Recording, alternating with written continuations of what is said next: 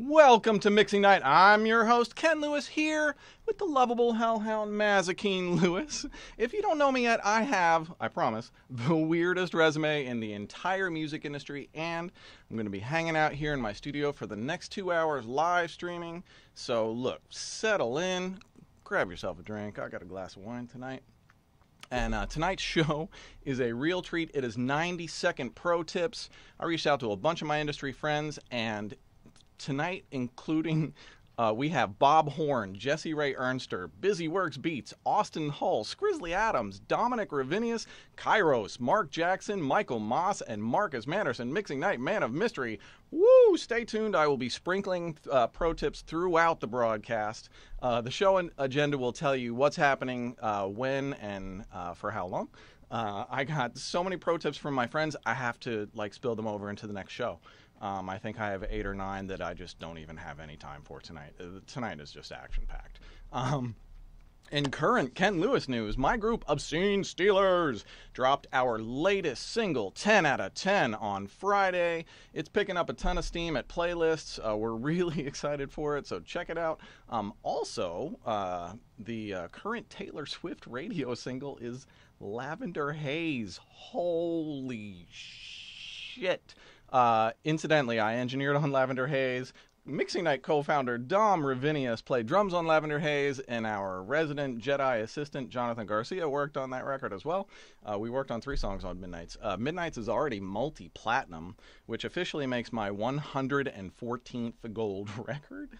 Um, I only count the golds. I don't count the platinums. Uh, anyway, uh, tonight's uh, sprint mix is going to be a group called Trailway Circus. The song is called Broken in a Million Ways, which I kind of feel like lately. Um, so, but Ken, why why sprint mixing? Ken, why is it is it so you can mix fast? Is it so you can get your work done and you know get it? No, it's it's not for any of those things. Sprint mixing uh, develops your instincts. It's uh, 10 minutes faders down to the best rough mix that you can possibly deliver. Um, imagine sitting with your client next to you, needing to cut a vocal, uh, and waiting for you to get the mix together for their headphones. Or imagine you're front of house and you're you're mixing, and you got to get that mix up fast. Sprint mixing teaches you how to uh, just focus on your instincts, shed the technology, and uh, I'm going to put 10 minutes up on the clock. This is uh, Trailway Circus broken in a million ways. You have found Mixing Night. Masking up, still pandemic y out there, but this is just tradition from. Uh, we started the broadcast uh, under lockdown, um, so the mask is still kind of tradition now. So, all right, you found Mixing Night. I got 10 minutes on the clock. Boom. Thanks for joining us.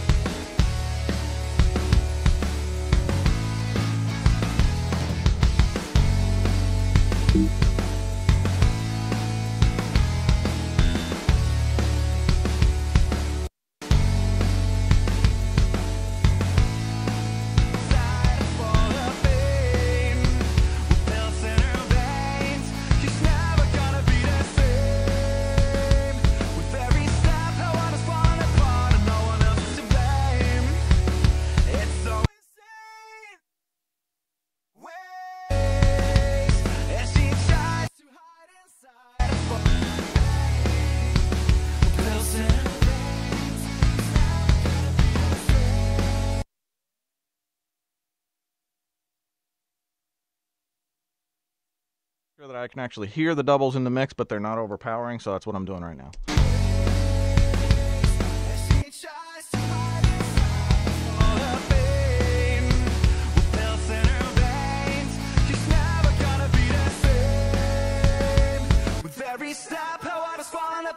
no one else is to blame.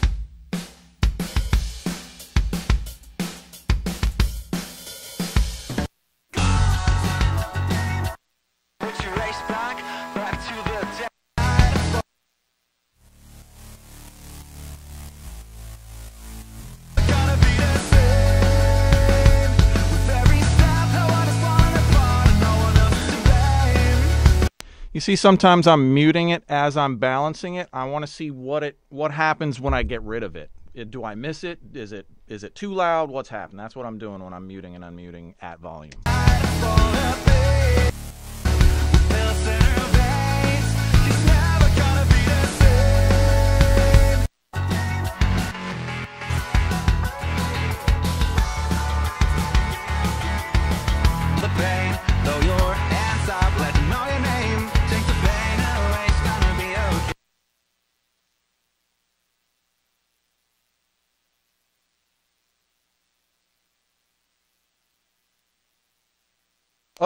If you uh, sorry, I had the button down. Um, uh, if you've been paying attention, uh, I just adjusted the synth and the lead vocal at the same time on two different controllers with different faders. That is a huge advantage over mouse mixing. Um, and it's just so much better feel. It feels much more natural. And uh, so if you don't have at least an A channel controller or something, I, I recommend one. The pain, though your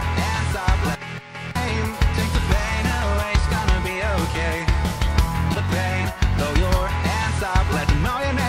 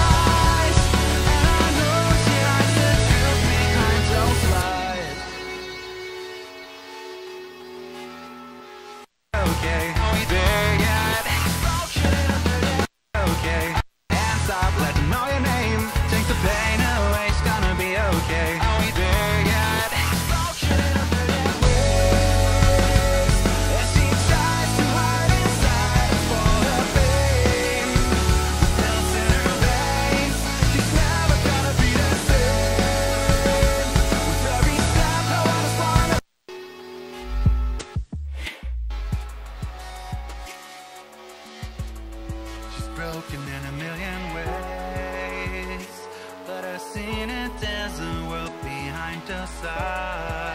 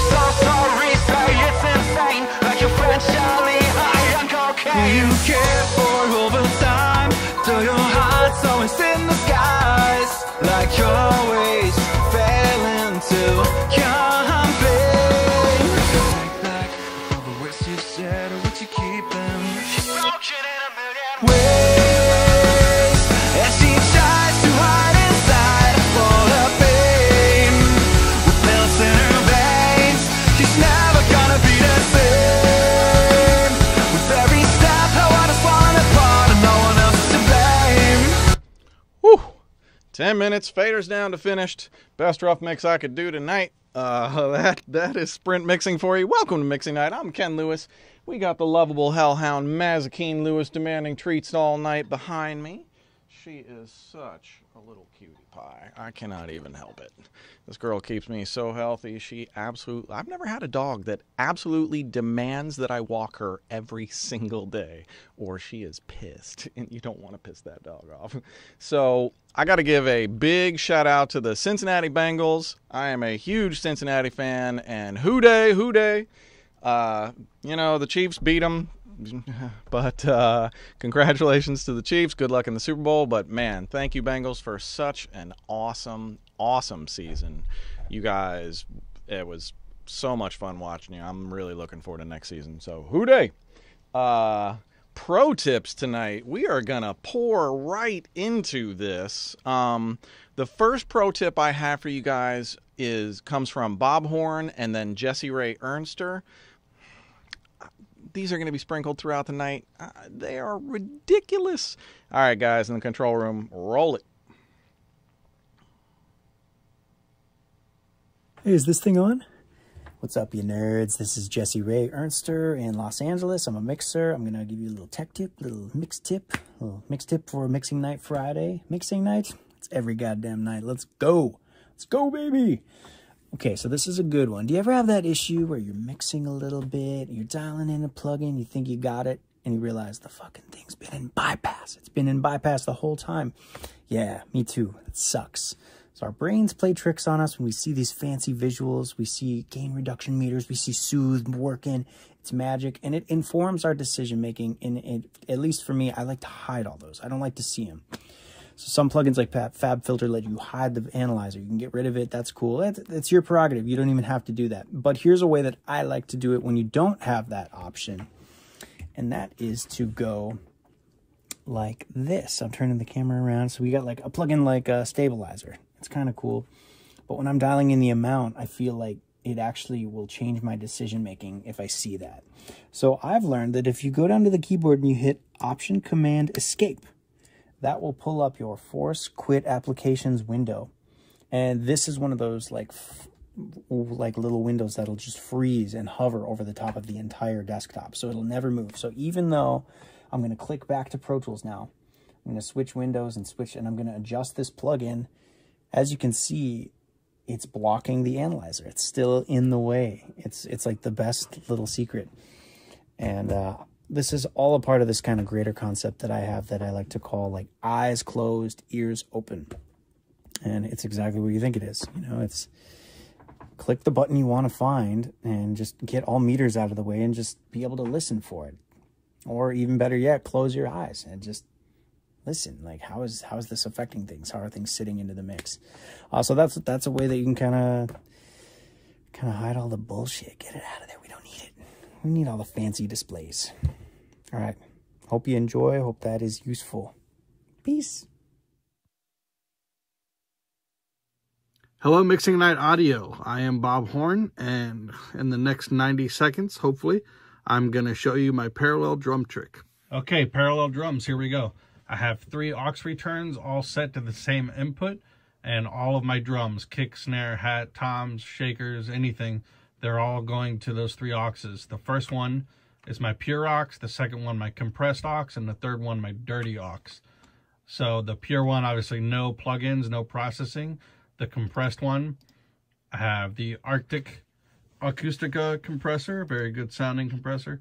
The UAD 1176 LN and an L2 uh, Pro L2 just to catch the peaks. Then on the dirty, I have a SSL Waves just really smashing, you know, slow attack, fast release. This the ultimate pump going into an oven, which is really pushed, lots of graininess, distortion. EQ just to kind of clean up some of the frequencies after the extreme compression and distortion, and then a Pro L2 really smashing just to kind of glue it all together and make it extra smashy. So that allows me to balance these three and get a better vibe than just the plain. So here is the plain aux.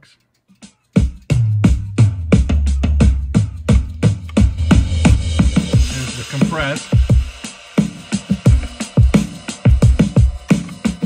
And here's the dirty. So all three together, we get something a little more interesting than just the pure.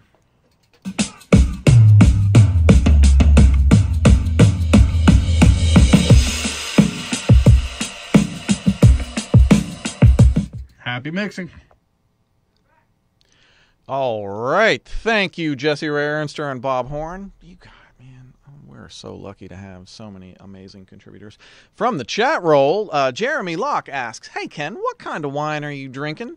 Uh, Jeremy, I have no fucking idea. Whatever my wife poured tonight, she's trying some new shit, so whatever it is. Uh, typically I like um, like dry reds, like a Cabernet or something big and dry, very little sugar. Um, and uh, if it's white wine, low sugar wines like uh, Sauvignon Blanc, that kind of shit. Um, let me go to uh, my pre-submitted questions. Uh, Deris asks, "Hey Ken, how how important is getting an analog to digital converter to incorporate into my system? I was looking at the Neve or the Burl. I'm running a Neve BMP in my in my chain." Uh, and I'm clipping my Apollo input but not my output. Uh, if you have an Apollo, I don't think you need another analog digital converter unless you're like, I mean, if, if you're mixing major label records only on an Apollo, maybe, but I've done plenty of that, honestly. And whenever I mix a record down in Ecuador, it's on the Apollo. So I think you're just fine. I don't think you need another clock. Uh, don't overthink it. Listen to the music, not the clocking. Uh, Max asks, Hey, Ken, how do I correctly do multi layer reverb? Uh, damn. Um, I'm going to try and come back to that uh, later on in the broadcast. Uh, at the the second hour tonight, I'm doing a full production and mix breakdown of Bruce Sudano, "Make the World Go Away," uh, and uh, fantastic song. Um, so I'll try and answer that then. Uh, Alex is com- uh, Alex asks, "Hey Ken, is compression really needed when mixing as a producer?" Almost always, yes. I, I don't think I ever mix without compression. Um, yeah, uh, at, at least some. I mean, if you've got a super ambient, spacious record, uh, I still think you need some compression. Uh, not only because compression helps you uh, shape the sound. I don't use a compressor only to reduce dynamic range. I use compression to shape the sound and the impact of my mix and um, and of individual things like that. Uh, so yeah. Um, mhm. uh, I wanted to give you guys a pro tip. So, I'm an artist now. And uh, so, me and Michael Moss, the movie trailer boss, are obscene stealers. Uh, here we are. This is us, the fucking goofy bastards um, that are. okay, so this is us. We're independent. This is all on our own.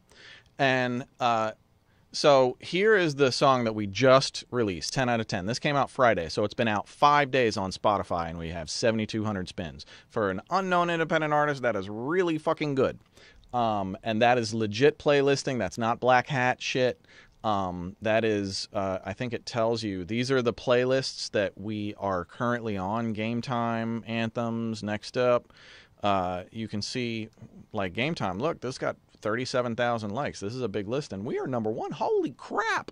And that probably means that we're performing really well on that list because we've been there five days, um, and we're still at number one. So, uh, this is why I'm telling you this. Losing game. We put zero dollars behind losing game. Look, losing game has less than 1,000 spins. Is it because it's less of a song than Side Effects and Danger and 10 out of 10? No, Losing Game is a fucking monster. It's a great song. Uh, we put no promotion money into it, and that's what happens when you put nothing into your records. And it's not like we put nothing. I talked about it on the show. I played it on the show. I've, you know, I've, and still. So if you're trying to make it independently, you must come to grips with the fact that you're going to have to spend a little bit of money to do so uh, in order to get a foothold. Um, you're probably going to have to spend a lot of money in order to get a foothold. And the most important thing about all of that is when uh, when you do come out, you better be throwing fire, or um, or uh, nobody's going to care. Like I wouldn't be number one on that playlist if 10 out of 10 wasn't fire. So that's the start. Um, here is the other part of my pro tip that's taking more than 90 seconds. Um, you as an artist need to find your niche, latch onto your niche, and grow your niche. And that's really it. To the extent that, so I have the RIAA uh, gold records list up on my screen right now. And this is basically the most recent things that have been certified gold and platinum. Here's why I'm pulling it up. There's a whole bunch of names just on page one and two that I have literally never heard of, and they are gold or platinum. Alvaro Diaz, no idea. SG, no idea who this is. The Rare Occasions, never heard of them. Cigarettes After Sex, never heard of them. Uh, Tyler Hubbard, not sure I've ever heard of him.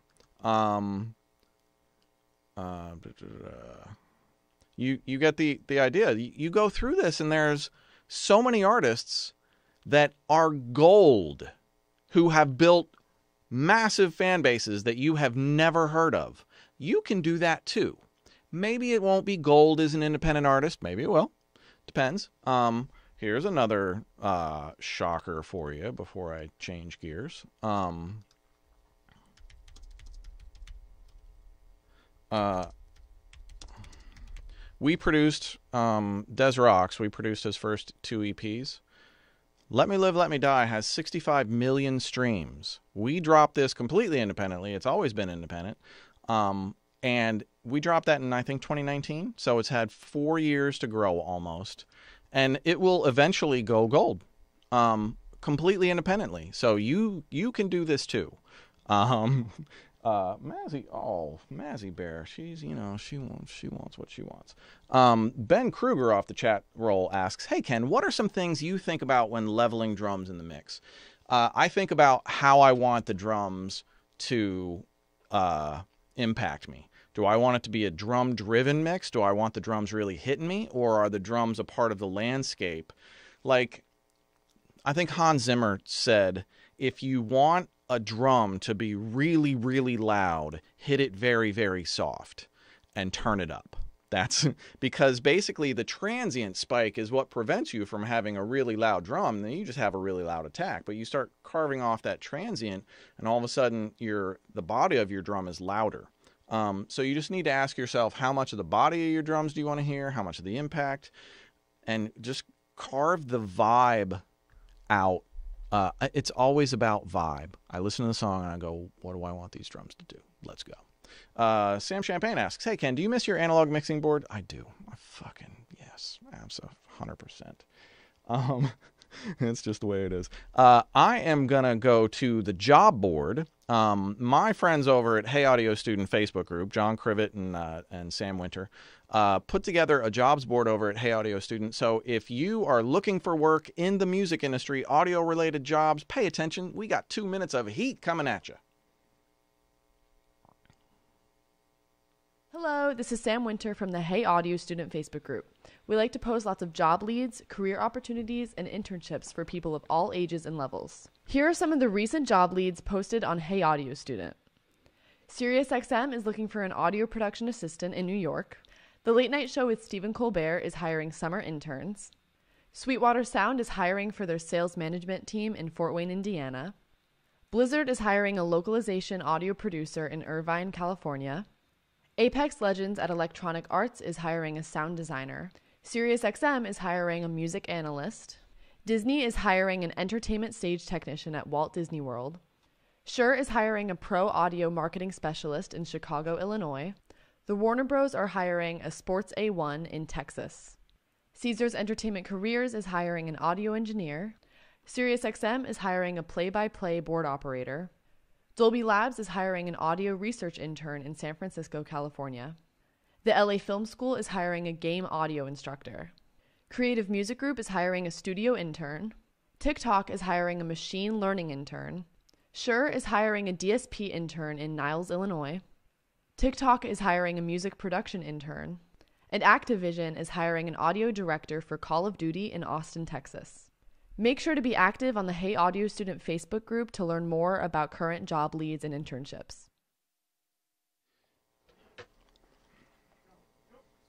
All right. Thank you, Sam Winter and John Crivet and Hey Audio Student Jobs. Uh, we're going to go straight to the next pro tips. Uh, my friend Busy Works Beats and Austin Hull got back to back killers for you. Uh, these are DAW tips, so um, I'm going to let the control room take it away.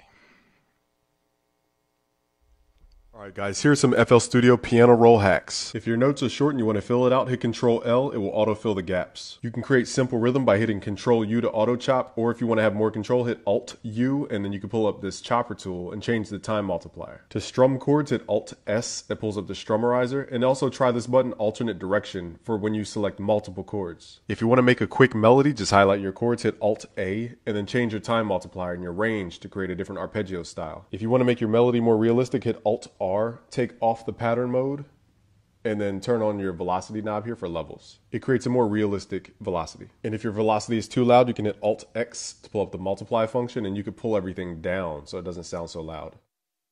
Hey, Austin here from Make Pop Music. I'm going to show you a quick 90 second trick to add a little bit more life and pizzazz into your drum arrangements and just add a little bit of extra vibe. So let's take a look at it. Here is what the song sounds like with a pretty standard trap drum arrangement. Nice punchy, crispy drums, but it's lacking a little bit. Here's what it sounds like. She want a trip to Tulum. She want the bag I She want the cameras and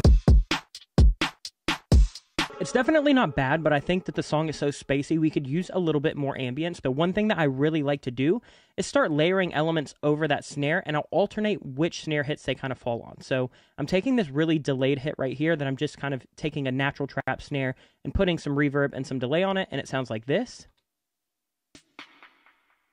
And then you can layer it. And then one thing that I really like to do is just kind of do the same thing where I'll alternate these really roomy hits. So I've got this really kind of like reverbed out snare that I've got turned down 20 semitones, and I've got this kind of reverbed out snare that I have up five semitones. And then we've got this last little hit over here that again, I'm just kind of pitch correcting. When you get all of those, here's what that kind of auxiliary drum group sounds like. And it adds a lot of vibe. Here's what it sounds like now with all of those drums in. She want a to She want the bag I sold. She want the cameras and TMZ popping up every time I'm in the room. Don't show my pin when I drop it. It's simple, but it does make a massive difference. All right. Uh, next up from the chat roll, Tom Hall asks Hey, Ken, in retrospect to mixing, how long did it take you to start thinking, huh, I really got this shit? Uh, well, Tom, um, a long time. And then, you know, it's kind of incremental. You kind of get more comfortable with your decision making. Sprint mixing is the fastest way to start trusting your instincts. I'm telling you, sprint mixing, sprint mixing, sprint mixing. Uh, anyway, um, it took a really long time, uh, and it's a gradual thing. Nowadays, it's I don't even I don't even second guess my shit anymore. Uh, Clay Lahat asks from the chat roll, uh, Clay Lahat, hey Ken, where are you putting the money for promotion for Obscene Stealers? Uh, mostly into playlisting, uh, press release, and um, uh, I'm doing some like appearances on podcasts and stuff. I'm not paying for that. And uh, artwork. All of the artwork is hand drawn um, comic book cartoon art. Uh, so that's where the, the three main kind of monthly expenses uh, go for Obscene Stealers. The playlisting is only effective if you have a great song, and if and if you have a playlister who's not black hatting and trying to you know. You get it. Abraham Knowlton asks, uh, "Hey Ken, do you still use the Vari-Mu on Mixbus? I hear great things. I'm thinking of picking up a plug-in version." Abraham Knowlton, pick up the uh, UAD uh, Manley Vari-Mu. Yeah, it's great. Um, I still have my outboard uh, Vari-Mu and it gets uh, regular use, but the in a pinch, the, the fucking UAD plugin sounds like exactly the same. So yeah, go for it. Um, let's see. I am gonna uh, spill to. I'm gonna play you guys like 90 seconds of the new Obscene Stealers lyric video for 10 out of 10. It is like uh, cartoon gamified, fabulous. Go.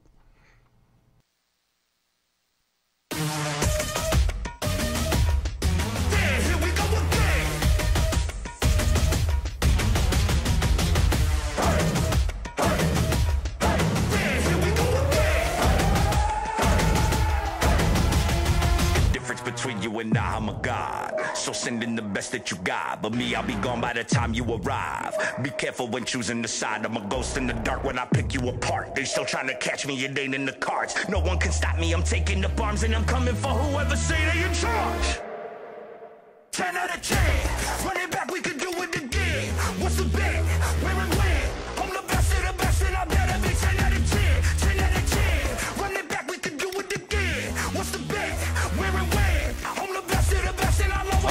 right, that is my group with Michael Moss, the movie trailer boss, Obscene Stealers. Uh, 10 out of 10. Mm. Uh, and we got a rapper named Fash on that track who fucking murdered it. Uh, well done, Fash. Uh, I'm going to play the Beat Challenge finale. Man, holy shit, did you guys throw down for this? There were so many submissions. I think I managed a bunch of uh, short edits and got one loop from a bunch of people. I think I've got 18 people in here now. Uh, so I'm just going to dig in. I'm going to start by playing the loop that you guys all fed off of. You had to use the loop, and then uh, you guys took it in so many different directions. Let's fucking go. This is the starter. You had to use this.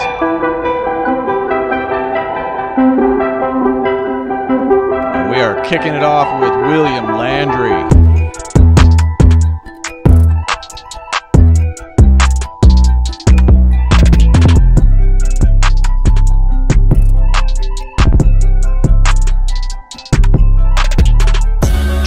Nation.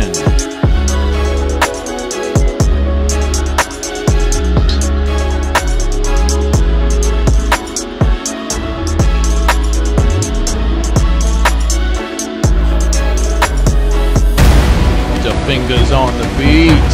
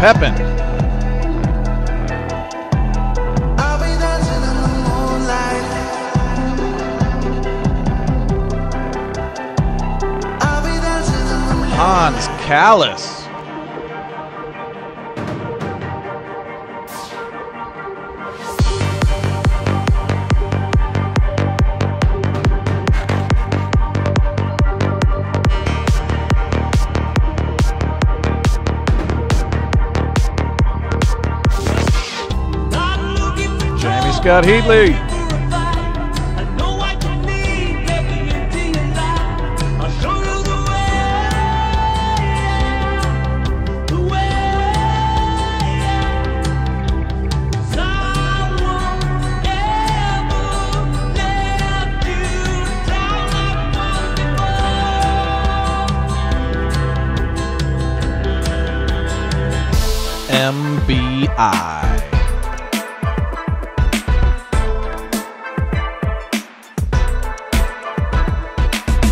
Hope you're doing good, dude.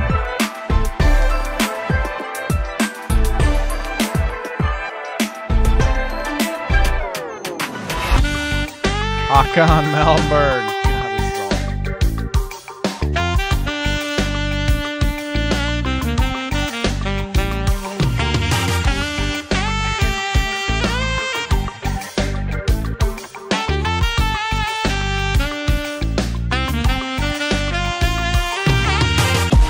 Lucas triple nine.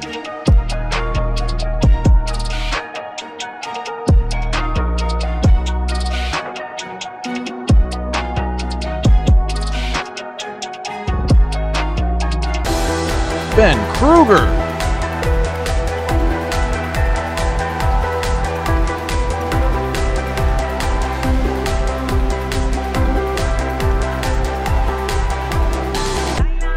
More beats.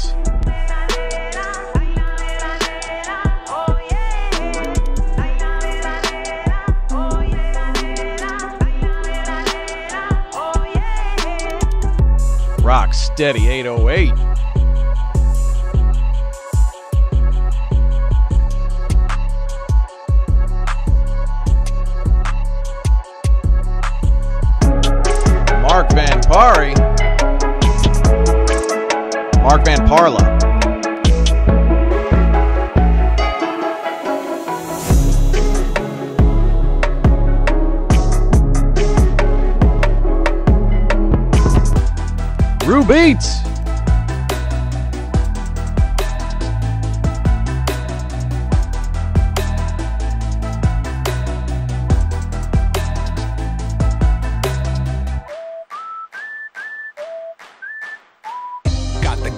Khalil. I just run amok for some fun. Bring the ruckus, it's no discussion. Disrupt all that, all that. Buddy on button when the bud hits. I go insane and flame the destruction.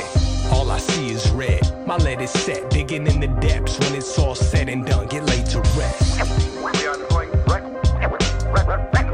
In third place, Eric Iverson and Jai Tui.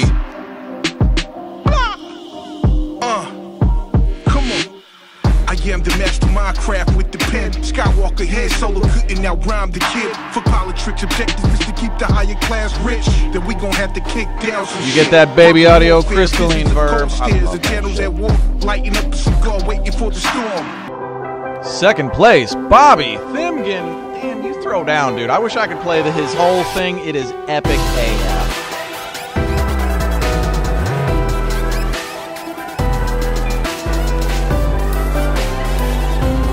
Bobby, you get that baby audio crystalline reverb as well. And the winner, Blackout Beats. You get that whole baby audio bundle, baby. Blackout Beats. Weeks have passed, months are gone. You were leaving all along leaving. least you're reaping what you sow so long. While you're walking on a cloud of water. Now you're taking what you found. If I saved it, how long would it take you tell me you can't do it and find somebody new? I'm so lost. I'm so lost. Blackout Beats, baby audio bundle.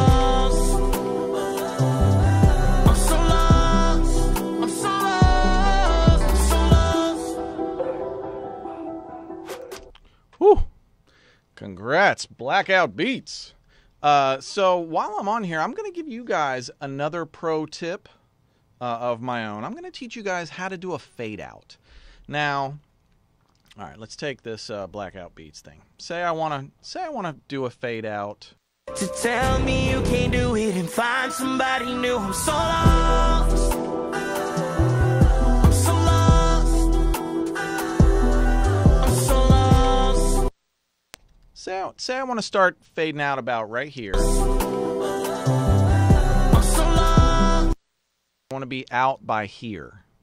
So I'm going to just do a normal fade. Let me blow this way up so you can see it. Okay. So that's going to be a normal, just linear fade. That's probably what a lot of you guys do. I'm going to teach you why you should be doing something else. Let's listen to this first. It's not bad. It's just a nice linear fade.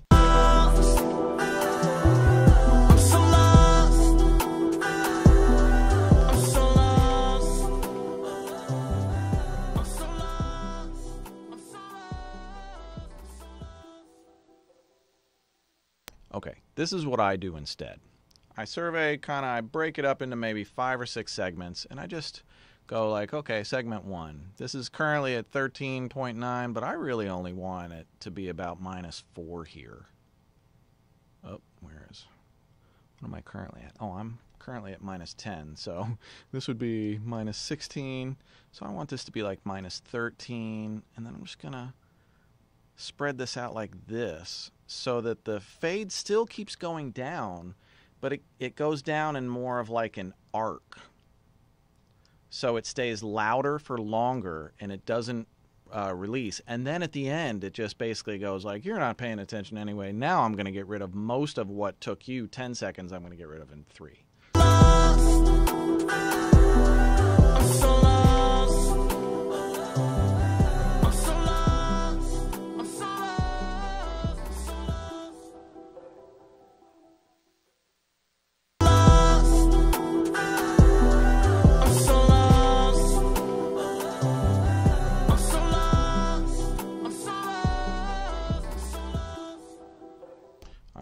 90 second fade out pro tip. So basically, I'm just trying to get it to curve a little bit instead of being just a straight line. It tends to sound and feel a little bit more musical. Uh, man, the show is so action packed tonight. Uh, I am already behind schedule. What's next? Uh, we got coming up now. We got pro tips from Mark Jackson and Michael Moss, the movie trailer boss. Pay attention; these are both really gold. Uh, I subscribe to both of them. Uh, here they come. Yo, Ken, man, thanks for having me on. Um, so I was gonna do a mastering tip today, but I thought that there was something way more important that I'm starting to see a lot of, and that's people showing up late to sessions. And there's nothing more disrespectful, especially to me, and I'm sure Ken, like, you feel the same way. It's like, you know, if I'm here at 12, our session's at 12, and you show up at 12:30 or 1, there's just no excuse for it. Uh, in fact, our pro tip is we'll ways where we need to go the night before. We double check what time it is with our manager, um, and the next day we'll be we'll be in the area like an hour early. We'll just hang out at a cafe and do whatever. So I don't have any excuse. My car broke down, or the train was late, or stupid Uber, whatever. It's not my problem. You know, time is money, and it's just so disrespectful to show up late. But there's one thing I can guarantee you. You know, if you if you want to have accolades, you want some shinier things, you know, you want to sell some records, you're not gonna get them if you show up late. That I can guarantee you. So that's my tip. All right, guys. Bye. Michael Moss, second obscene Stealers point, 90 second tip. Try not to get too much emotionally attached to your tracks. It makes it much, much harder later to work with the feedback. If you love your tracks too much, uh, you won't change it anymore at the very ending. Okay? Second tip Stop fighting yourself online with other people's about your clients, about your friends, about anyone. People are watching you. They definitely know what you're doing, what you're writing, and you could lose a business.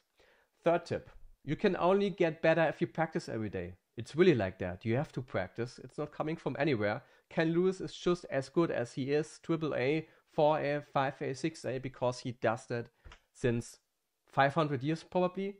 Fourth it. Even if you get fired from a job, don't answer with a shit email. It could be that a client is coming back to you and it could be one of your biggest clients at all at the very ending. Fifth, if you take a job, never quit it. Always finish a job in the best way possible, even if your client is, you know what I mean.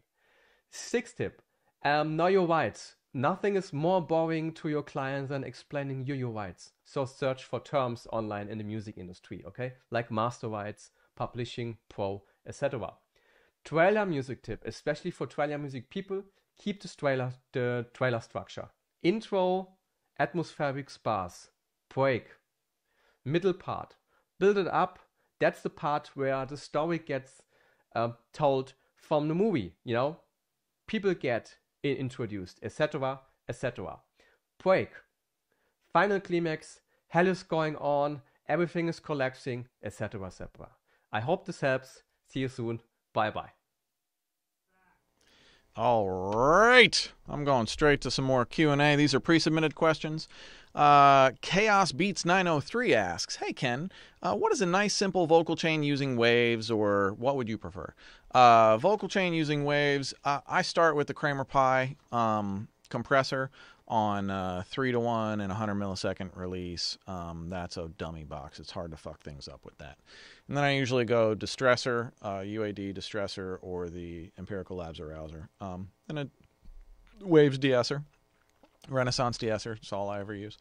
Uh, and then you could use any Waves EQ. I mean, EQs are EQs or EQs. They all kind of model differently, but they're all you know, they get you the result. Uh, okay. Um, uh, Eric Iverson asks, "Hey, congratu- congratulations to Eric and Iverson and uh, Jai Tui on just winning that crystalline reverb from Baby Audio. Uh, what? Hey, Ken, what advice do you have for someone who doesn't exactly have a huge book of business right now, but is interested in mixing for more artists? That's a tough one because that's what everybody wants to do, myself included. Um, you can get on SoundBetter or Engineears.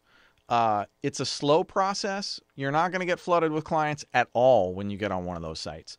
But those sites connect you with the possibility of building your clientele. And if you aren't on one of those sites, then you have no possibility of building any clientele through, at least through them. So I would recommend uh, one of those two as a kind of central hub, a way to do things. You know, local outreach, make sure that you're known in your area and that uh, the people in your area that recorded with you talk about you. Uh, Lawrence Jones asks, uh, "Hey Ken, how do I mix drums?" Um, I, I, that's I, that's uh, it would take far too long to show you, but I am gonna show the breakdown of um, um, "Make the World Go Away" later, and I'm showing you all the drum mixing. So pay attention, and that's coming up in like 15 minutes. Uh, Albert asks, "Hey Ken, uh, how did you get started in mixing audio?" I didn't get started as a mixer. I spent First, I was an intern, then I was an assistant, then I was a tracking engineer for years. And then I made the leap after maybe three or four years and many gold records um, as a top tracking engineer in New York City. Then I made the leap to mix engineer. And it took me like a solid fucking year before anybody really started hiring me to mix. And but I just turned down all tracking and eventually it stuck. Okay, I'm going to move on with the show. Ear training. All right. We have multiple instrument identification. The uh, worksheet is in the description of the video you are watching right now. Go get the ear training worksheet, it'll help you follow along. This is multiple instrument identification. So I am going to play you uh, eight different musical examples. Um, let's not show the screen right now. Uh, no, don't show the screen. Um, I'm going to show you eight. I'm going to play you eight different musical examples. You have to tell me everything that you hear, and uh, you can write it all down in the worksheet. Uh, you get one point to guess the right group. Say if there's kick, snare, hi hat, and toms, that's drums. That's one. So the category is drums. And then if you name each individual one, kick, snare, hi hat, toms, that's four more. So if you have, uh, you know, like, You'll get it. Oh, okay, so there's eight. I'm going to give you two listen throughs on each one and then the big reveal. So you don't got you got about 18 seconds per. Pick out everything, write it down fear fiercely and then on to the next. Here we go with your training. 1.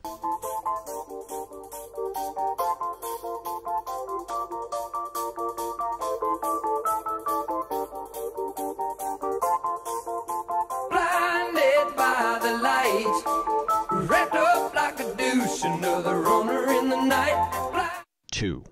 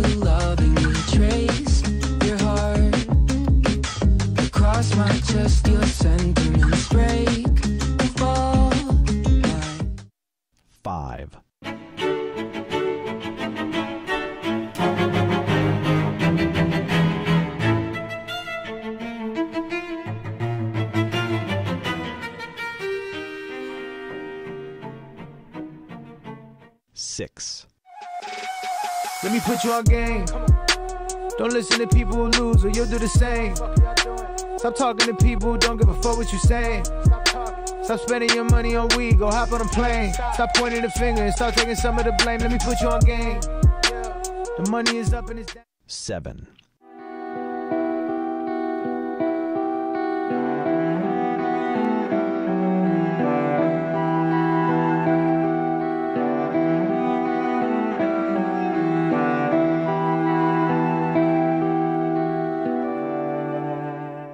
Eight.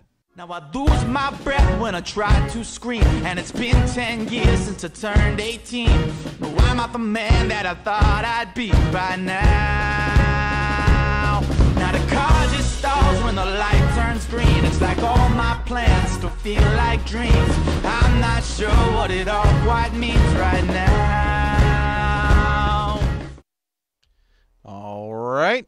One more time through from the top, and then the big reveal. One.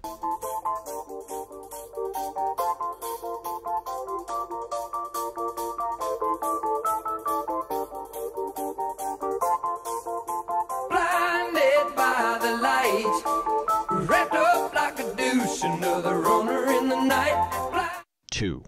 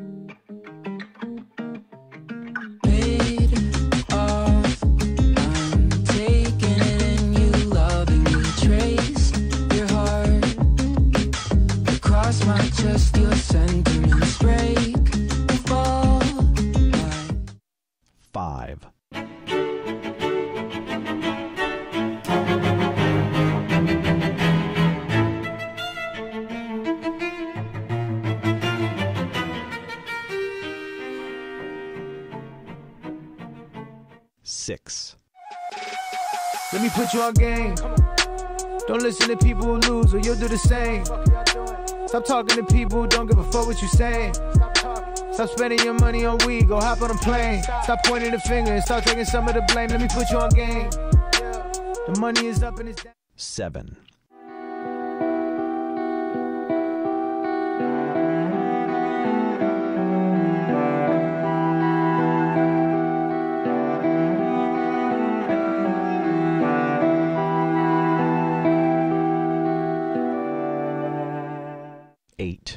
I lose my breath when I try to scream, and it's been 10 years since I turned 18. No, I'm not the man that I thought I'd be by now. Now the car just stalls when the light turns green. It's like all my plans still feel like dreams. I'm not sure what it all quite means right now. All right, how are you guys feeling about your results? Uh, here is the big reveal. I'm going to play it through one time with the answers on screen, and let's see how you did. One.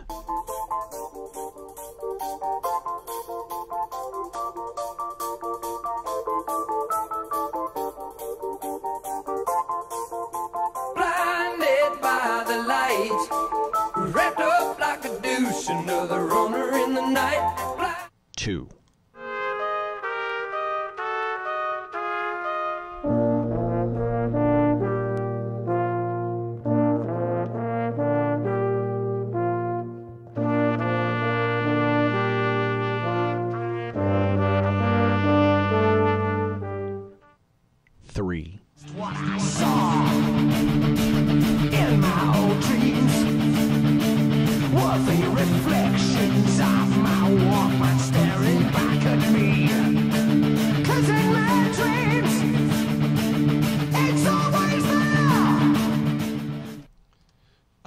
Okay, I want to show you guys something that I want to show. I want to show you guys something. Uh, that Iron Maiden uh, song that just played. If you didn't hear the bass, this is the bass.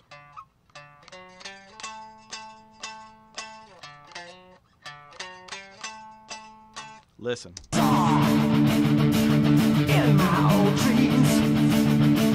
Were the reflections of my Walkman staring back at me. That's where those notes are, but it is a bass guitar and it's way up there. Okay, on to four. Four.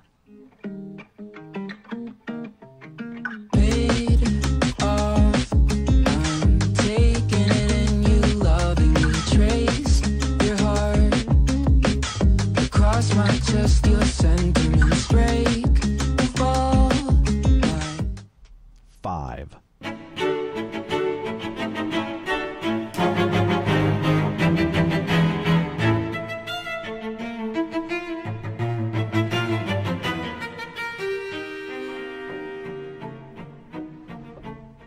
Six. Let me put you on game. Don't listen to people who lose, or you'll do the same. Stop talking to people who don't give a fuck what you saying. Stop spending your money on weed, go hop on a plane. Stop pointing the finger and start taking some of the blame. Let me put you on game. The money is up and it's down. Seven.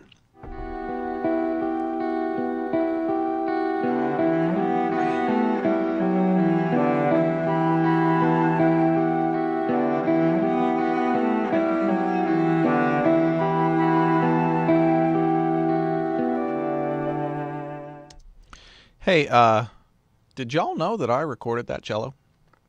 Yup.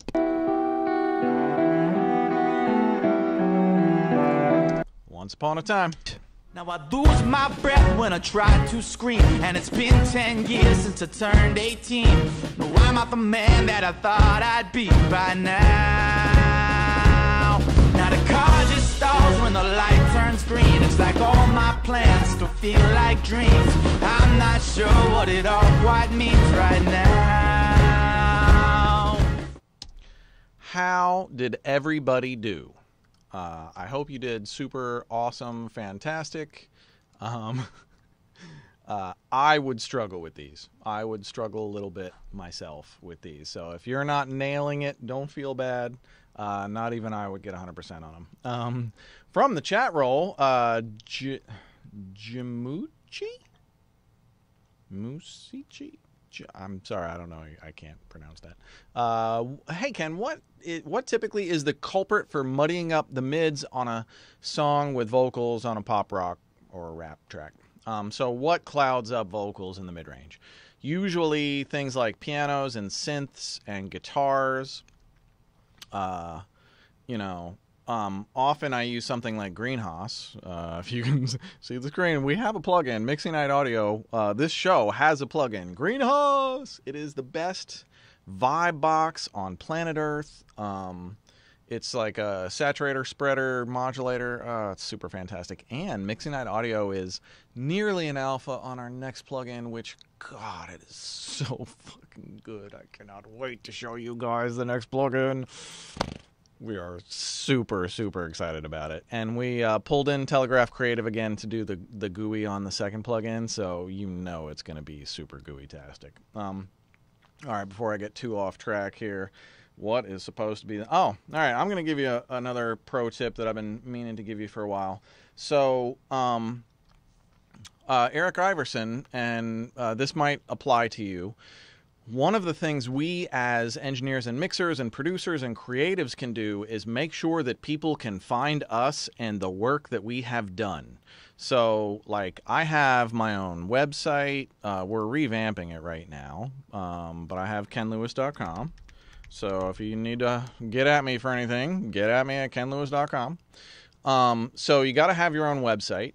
Um, and if you have a discography of any note, then, you know, uh, put your discography up there.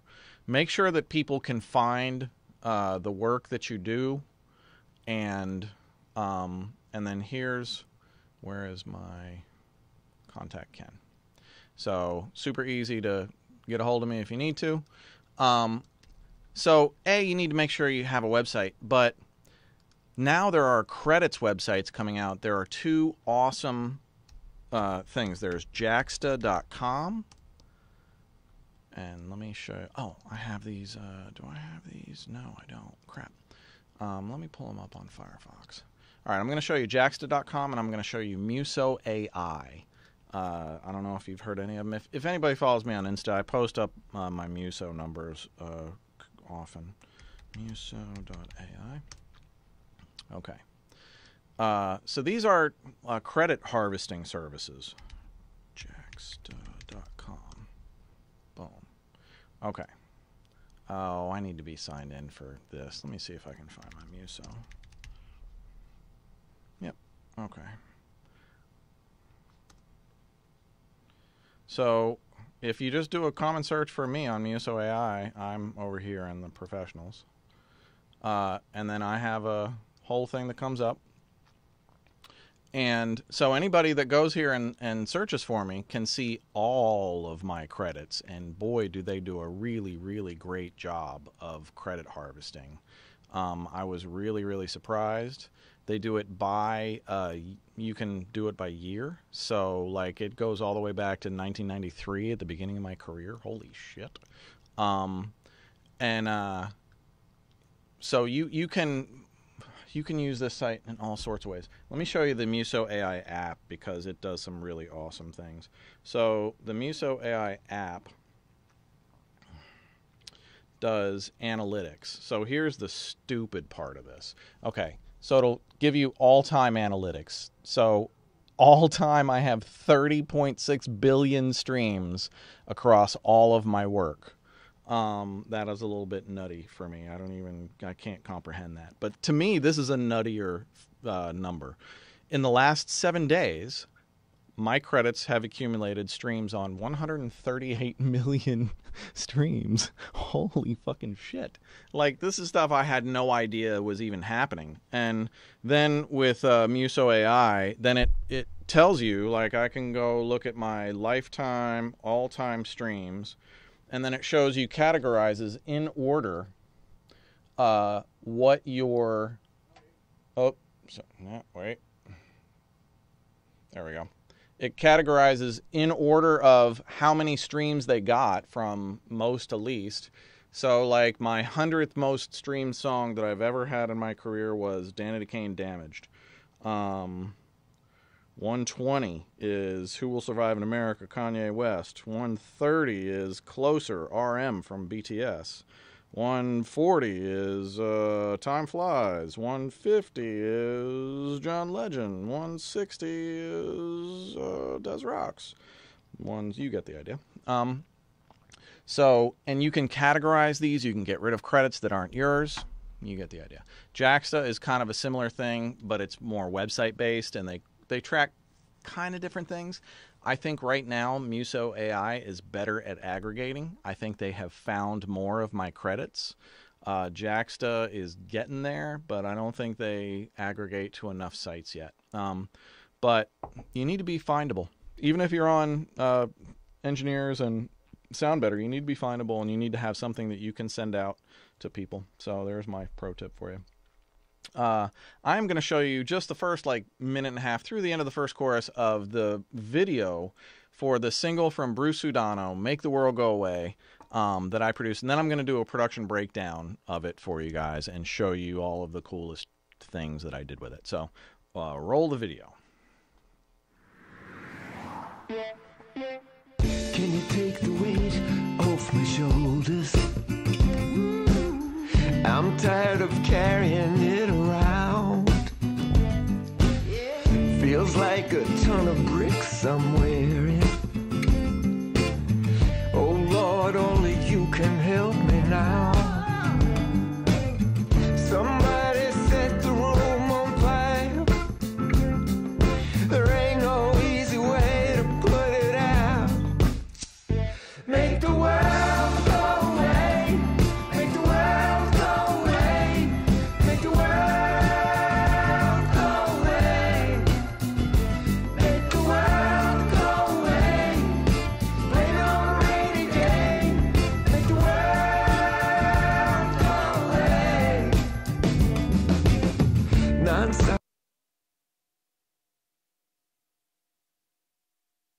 Moody fucking cinematography. Holy shit. When they sent me that video after it was done, I was just like, whoa. It's so I'm a sucker for like earth tones and like dark moody shit. So that video really caught me. Uh, super well done, Bruce. Um, now I'm gonna uh, show you what I did.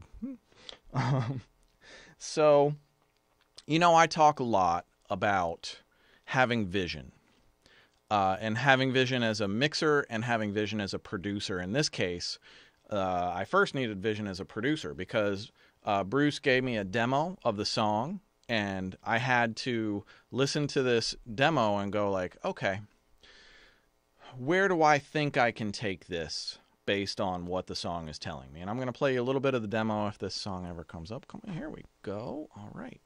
Um, first thing I noticed was uh, the song was too long. His arrangement was like four minutes, and four minutes nowadays.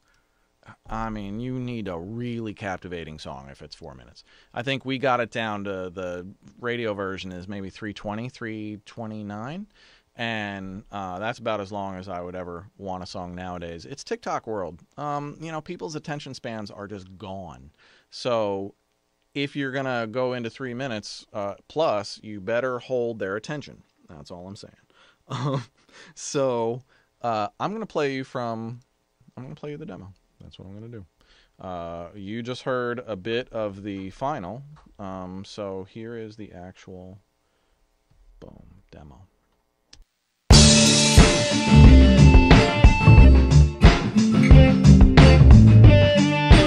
Notice I got rid of the intro. Can you take the weight off my shoulders?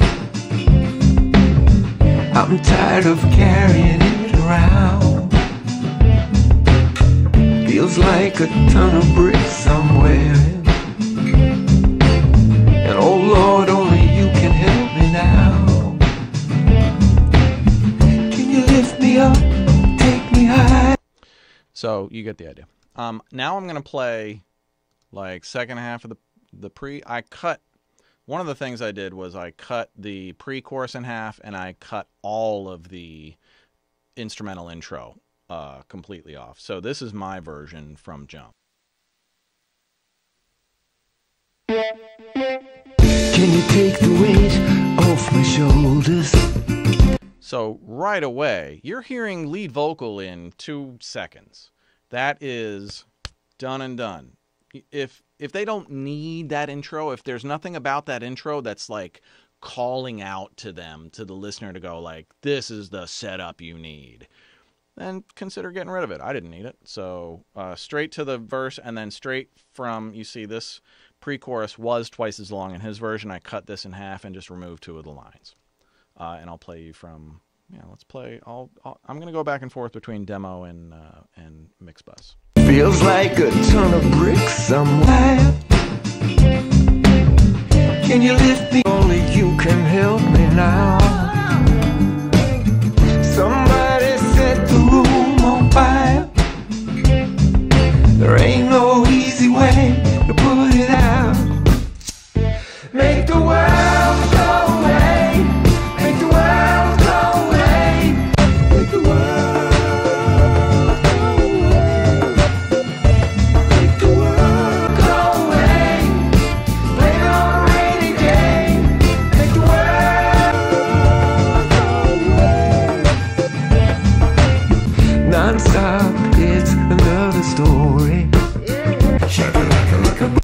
And then, so you can hear the the difference in approach in the chorus. Um, but I'm just on a on the arrangement note. Uh, I come straight out of the chorus right back into verse two, whereas the demo has a post chorus going on, and I just again I was like, um, um, you know, I was just like I didn't feel like it needed it. Um, so I got rid of all of the stuff that I felt like didn't matter. Um, arrangement. Let me show what I got a whole bunch of notes that I wanted to show you. Um, also, you notice from the demo, uh, he had uh, doubled lead vocal in the verses, and I have a single lead vocal, and that was very intentional. Feels like a ton of bricks somewhere. Can you take the weight off my shoulders? So I felt like the demo, I wasn't sure if it was a group or a artist or, you know, as a general listener. So I wanted to make sure that the listener got the lead vocal from the artist without distractions. Um, got right to it. Uh, one of the cool things about this song is the backing vocals. So I'm really lucky. I have a lot of super, super talented friends uh, that I can call on to play on my sessions and hire them to come and enhance my records for me. Um, I reached out to a bunch of my friends on this record. Irene Blackman sings all of the backgrounds. Man, Irene Irene is a member of the Blessed Choir, which is uh, my choir that I've used on Kanye and J. Cole and Popcaan and so many others. Um, so I reached out to Irene and had her sing backgrounds on it. Make the world go away. Make the world go away. That's Irene in the background. Uh, I reached out to my good friend Dylan Wissing uh, to play drums on this thing. Dylan is, uh, you can find Dylan at indiestudiodrummer.com, uh, Dylan Wissing. And he's got like 20 drum kits and he's got a great recording space and he's got all the microphones already pre set up and everything. So I literally send him the song. It's already on grid. Um, and Dylan and I have a conversation about mood, feel, approach, goals, what I'm trying to get the song to translate like. And then he cuts the song in his own studio and sends me the drums and multi tracks them all out for me, records it perfectly.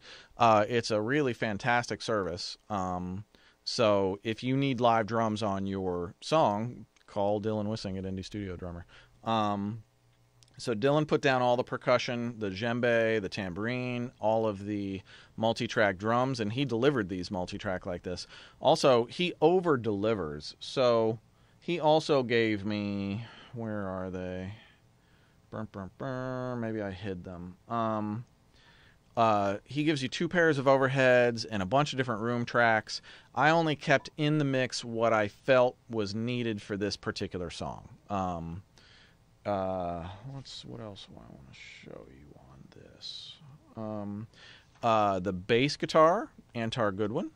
Um, again, I sent the song minus bass to Antar. I, I think I had I had Dylan put drums on it because I needed a an establishment of groove for everybody else to play to, and I knew Dylan would be my rock that could deliver that for me.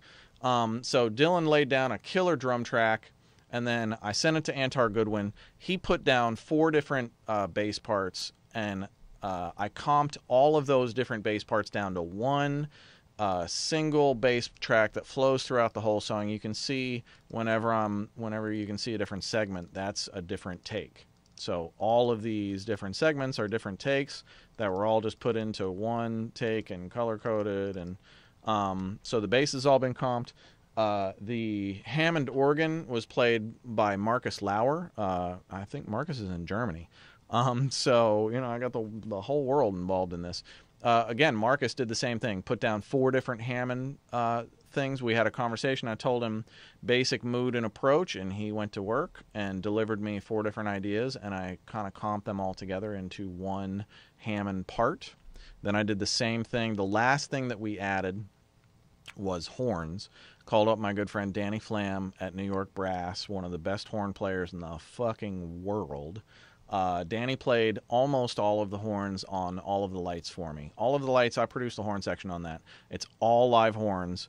Uh, Danny Flam played almost all of it. Tony Garuso played the uh, high, high trumpet on it. Um, and Danny played the horn section on this. Uh, and that was the last thing that I added. Um, and here, yeah, here's the horn section. These are comps. So, you know, Danny gave me a ton of tracks, and then I, in a completely separate session that's only horns against the two track, I comped and blended and pitched and every, anything that I needed to do. I shaped these up into uh, two track stereo comps of each section. Um, and then brought them into the uh, session this way. So I have a bunch of other like secondary sessions that are pieces of this session that eventually get imported and moved into this session. All live horns.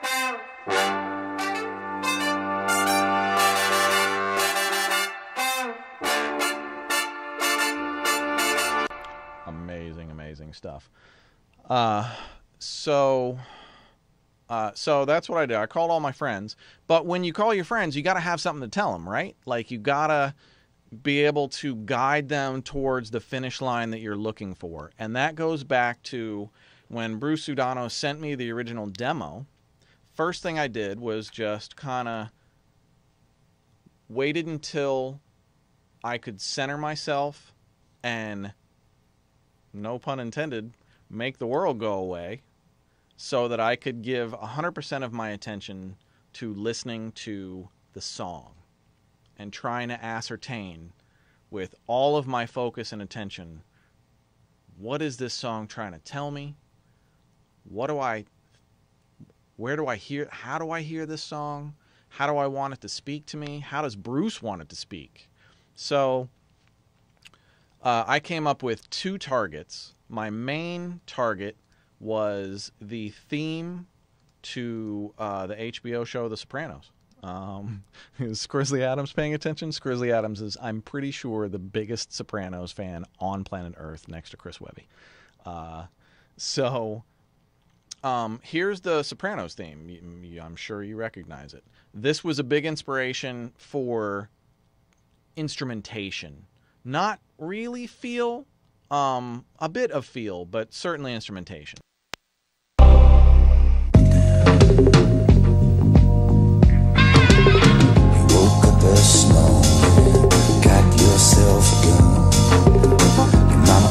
Said you'd be chosen one. She you're one in a million, you got to burn and shine. You were born under a bad sign with a blue moon in your eye. And you woke up this morning, all that love had gone. Your papa never told you about right and wrong. But you, but you looking good, baby. I believe that you're feeling fine. Shade my born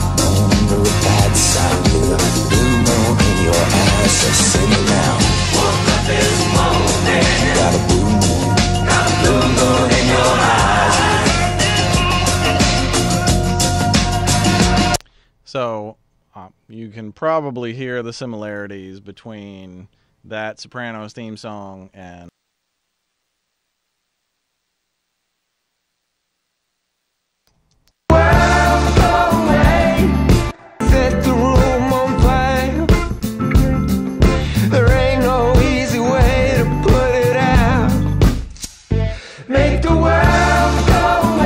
that was also something I added that uh, uh, big flick.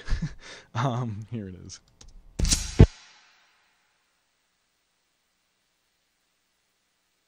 Oh, so Bruce loved it when I did that. I basically uh, put this big stop right before the chorus. So all of the energy goes, you know, you're grooving right along in the pre, and then everything stops and it sets you up for a much bigger entrance to the chorus. And if you listen to his demo, it plays through.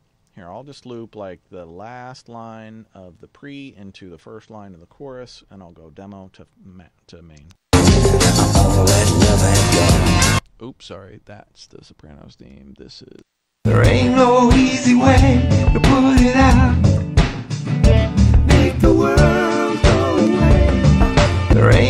So he doesn't give you any break. It's just steady drums right into the hook, and there's there's no real setup. Listen to what I did. There ain't no easy way to put it out. Make the world go away. There ain't no. So to me, if I'm the listener and I have stopped paying attention for a moment, and or maybe I'm just not yet totally caught by the song, and all of a sudden the energy just gets sucked out of it, draws my. I'm like, what the fuck just happened? Boom! Make the world go. And I'm like, okay, I'm in. So these moments, you know, think about your transitions and your setups, how things enter, how things exit uh, from one section into the other, and whenever it makes sense, you know, put, put some put some stank on it. Uh, from the chat roll, Clay Lahat asks, "Hey Ken, would it be possible to get an idea of what it costs an artist to create a song like this?"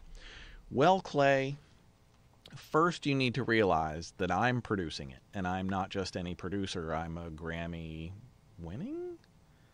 I haven't won a Grammy for producing. I have produced on Grammy winning records. So I'm in a certain price range. Um, that's going to be the bulk of all of your expenses. Uh, and then, you know, um, you can reach out to the uh, musicians themselves, Antar Goodwin and uh, Dylan Wissing. They're both actually on SoundBetter. You can uh, catch them there. Irene, um, I don't know if Irene is on SoundBetter or not, but um, she's on Facebook. So, uh, you know, um, you got to pay the musicians, you got to pay the producer, you got to pay the recording engineer in the studio, you got to pay the mixer. Um, in my case, I am already all of those things and uh, can absorb all of those costs. Uh, so, uh, you know, I don't know what else to. I don't know if that's a good answer. Sorry. Uh, Simmer Music asks, "Hey Ken, uh, do you ever mix using headphones? And if so, what's your favorite headphone?" Uh, I do, uh, especially Atmos. You absolutely need your Atmos is a first headphones and then speakers. So I, I always my Atmos mixes. I make sure that they translate in the room great on all the speakers, but also in the headphones, and that the headphones sound to me like what the speakers sound like. Um, so that's super important. Uh, and stereo mixing, I think, is just as important. I use the the Audeze uh, LCD LCD XC, yeah, Audeze LCD XC uh, headphones. I think they're like 13, 1500 bucks. Um, but they carry the 808s all the way down. They're clear as a bell. They're like wearing speakers on your head. They're a little bit big and heavy, but the localization and the clarity of those uh, headphones is fucking off the rails. Um, what else did I want to show you about Bruce? Oh, I want to show you these. Okay, the other uh, the other sonic inspiration, not necessarily um, parts and stuff, but sonic inspiration uh, was a song that I mixed for an artist named Alan Raymond out of uh, Universal Canada. This song called Main Room. And I mixed this for Alan, and as soon as I heard Bruce's song, I thought of this for Vibe. softly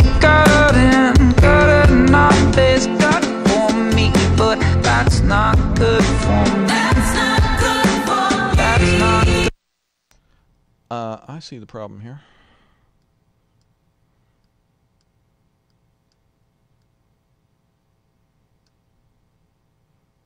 It's awfully good and is good for me, but that's not good for me. That's not good for me. That's not good for me. That's not good for So that's Alan Raymond main room. Main room. Uh, I use that as sonic inspiration, just as a you know a guide vibe check. Um, and the man himself showed up, Dylan Wissing. Uh, Dylan is on the chat roll. Everybody say hi to Dylan. Uh, Dylan asks, "Hey Ken, how do you get those incredible live kick drum sounds? It's you, baby. All I do is balance your shit." Um, let me show you. It's really. Uh, here we go. Um, okay, so the first trick Dylan gives me three kick drum tracks. So one is inside of the shell, maybe two inches from the beater on the inside. The other is probably at the back of the shell, uh, right around where the open hole is. And then he's got one of those sub kick pack things right in front of it. Um, and this is what these three things sound like on the kick.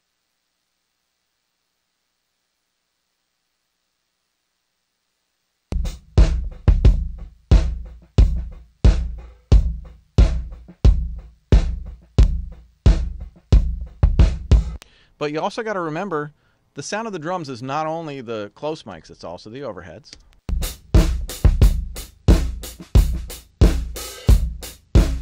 So when you put all these things together, um, here's the full drum track with djembe and tambourine.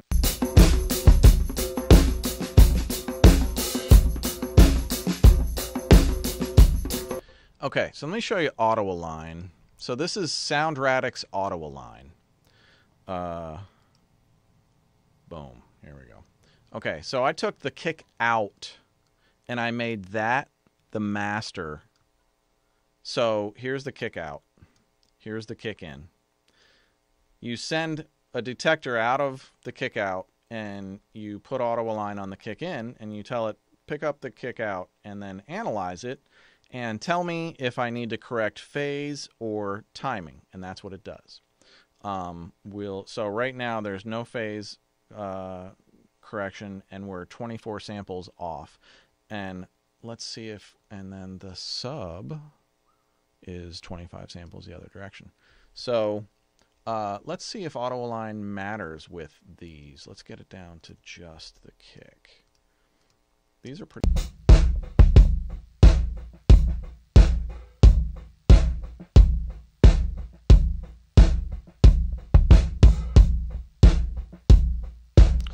Don't hear it so much on that. Um, let's see if I can hear it on snares.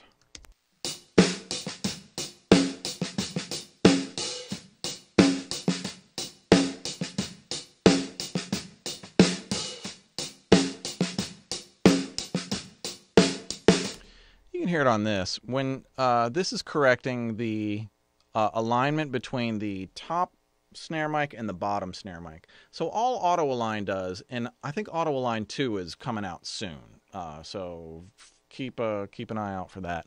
But auto align's been great. Um, so basically what it does is it says, okay, well you want the bottom mic to be in phase and in timing with the top mic. Okay, feed me the top mic and I'm going to align it for you. Ready, go. Boom. So let the AI shit do its work for you. Uh, so basically, I've uh, I am auto aligning the individual uh, tracks together, top and bottom snare, and then I took the combination of the snare and I fed that out its own send, and I am aligning the overheads. Receive three is the left overhead, and then I'm sending four. So the left overhead is aligned to the snare, and the right overhead is aligned to the snare. Uh, that's what's happening.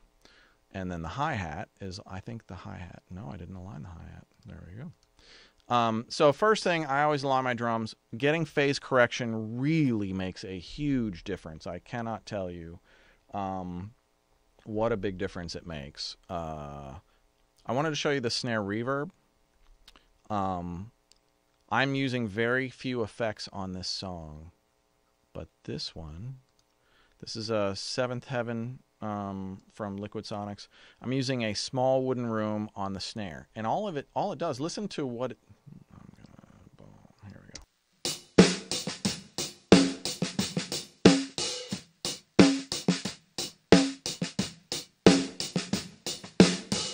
Yes. Can you even fucking believe that just happened?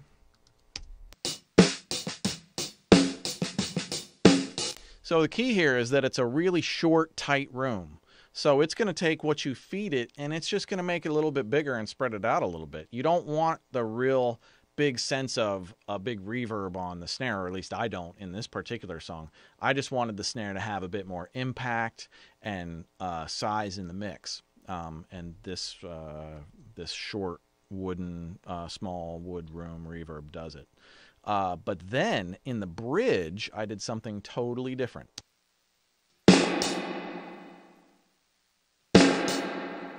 See, I'm sending, before I wasn't sending out three and four. Now I'm only in the bridge. Let me see if I can show you this. There's three and four. See how three and four is muted until the bridge when it automates open, and then after the bridge, it automates back close. So I'm feeding this into a spring reverb.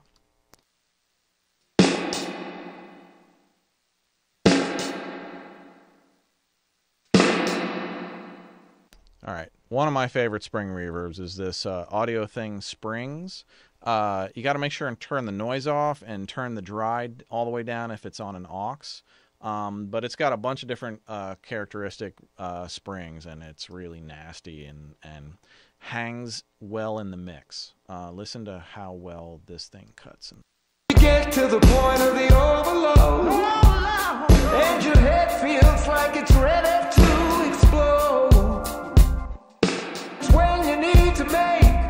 a little getaway, make a getaway.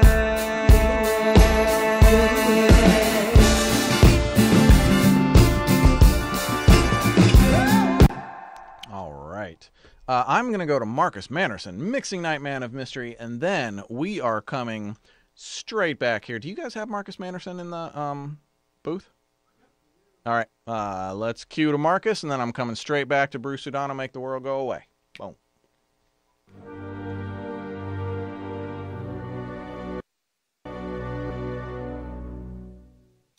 What's good, Mixing Night family? This is Marcus Manderson, Mixing Night Man of Mystery, back with another Mixing Night Man of Mystery moment. In this Mixing Night Man of Mystery moment, we're going to talk about 10 tips that you can use as a music creator and as a professional in the audio space. Let's get right into it. Tip number one be yourself because everyone else is taken.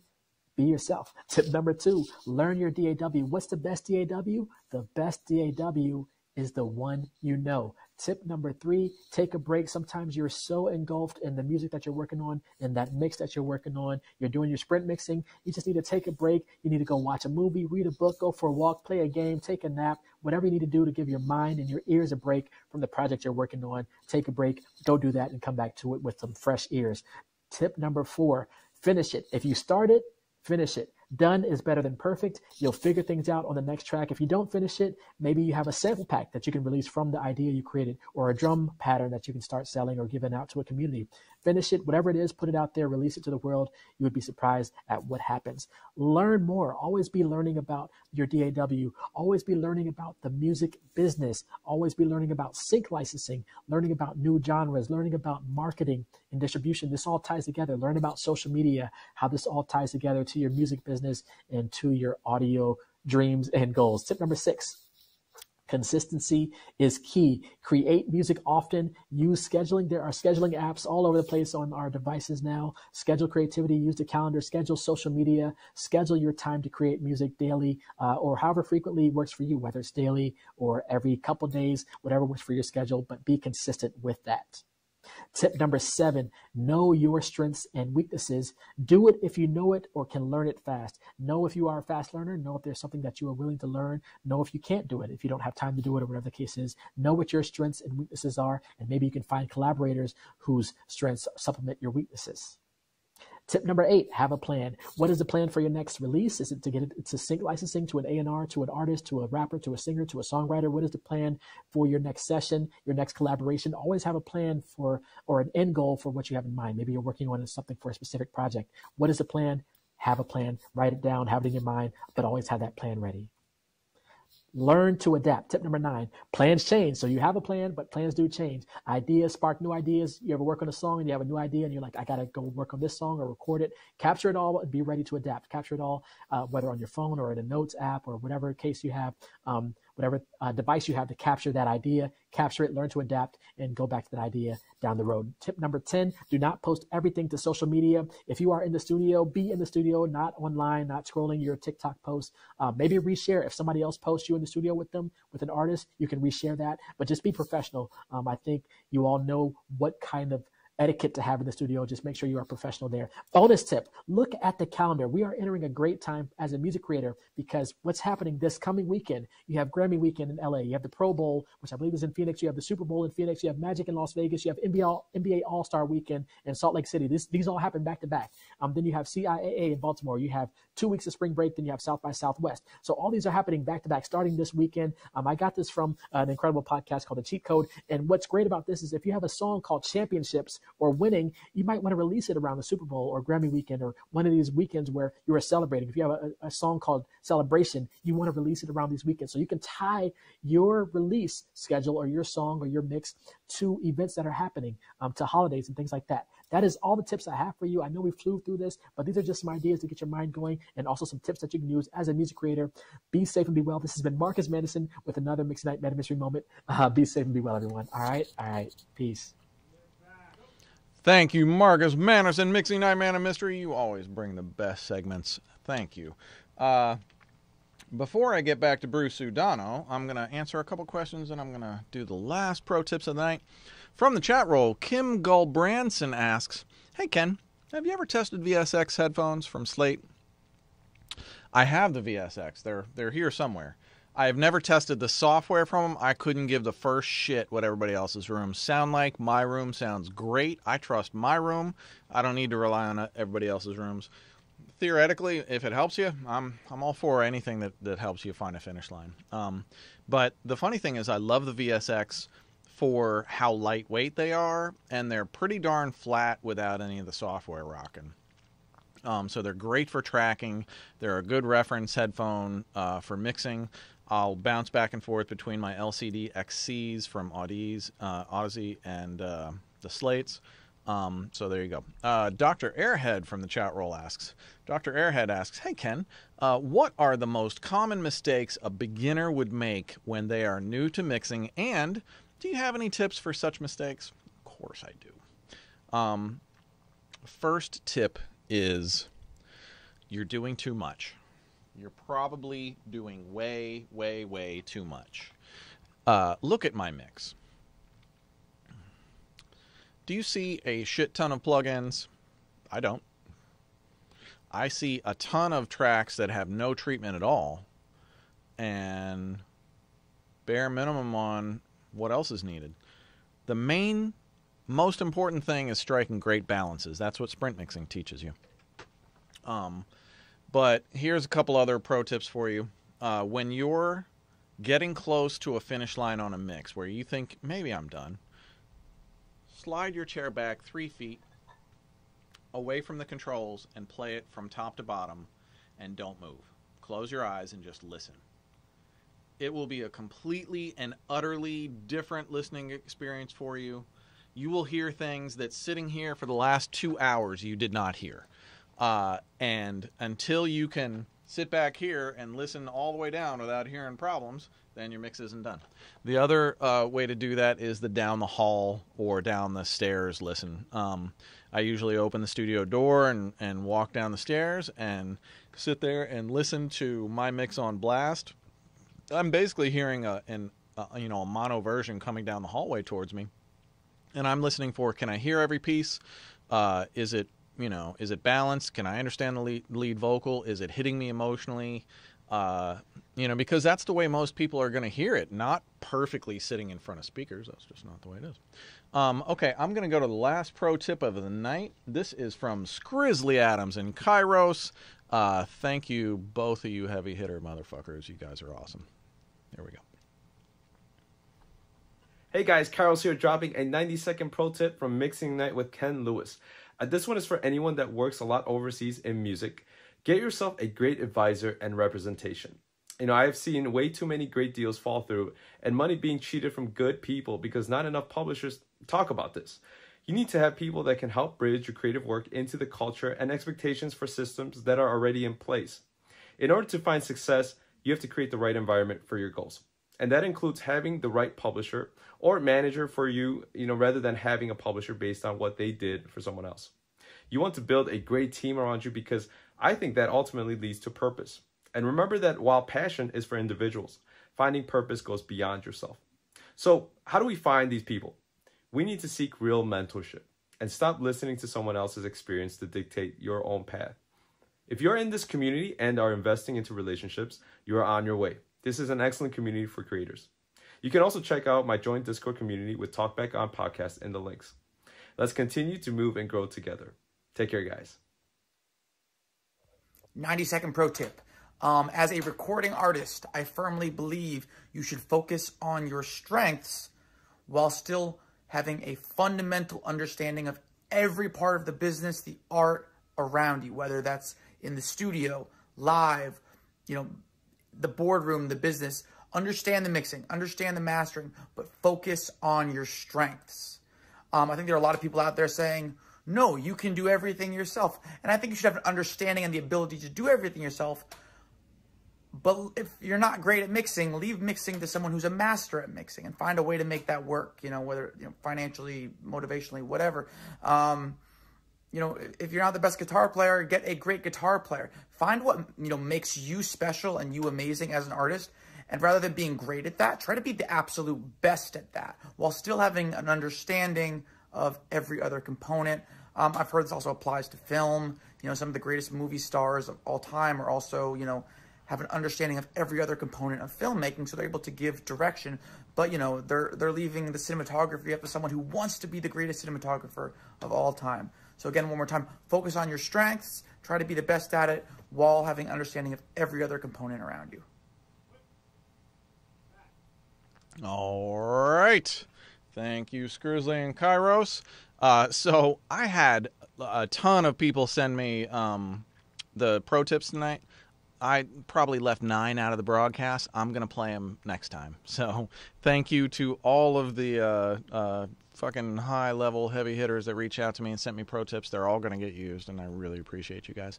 Okay, back to Irene Blackman and her um, fucking amazing backgrounds. Listen to these. Boom.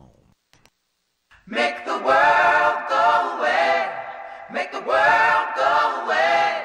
Make the world go away. Yeah, baby. So she has two notes. She has uh, "Make the world go away, make the world go away." So she's got a two-part harmony. Make the world go away. Make the world. Uh, is there three or two? I think it's two. Um, here's the magic sauce of this shit. I'm not treating any of the original vocals on their source tracks, and I'm fanning them out kind of around the spectrum. Sometimes I go hard left and right. Sometimes I kind of fan them around. This time, this felt really good, so I went with it. Here is the sauce. This Saturn II shit. Make the world go away. Make the world go away. Make the world go away. Okay, so how am I doing this? So, um, the Saturn II can be broken up into different frequency bands.